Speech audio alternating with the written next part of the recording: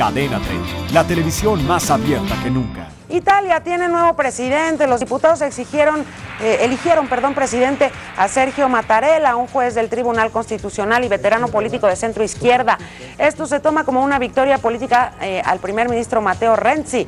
Mattarella tendrá un mandato de siete años, sustituyendo a Giorgio Napolitano, de 89 años de edad, quien renunció a principios de este mes. Suscríbete a nuestro canal de YouTube para que siempre estés informado de las últimas noticias de México y el mundo. Empieza ahora mismo dándole clic a estos videos.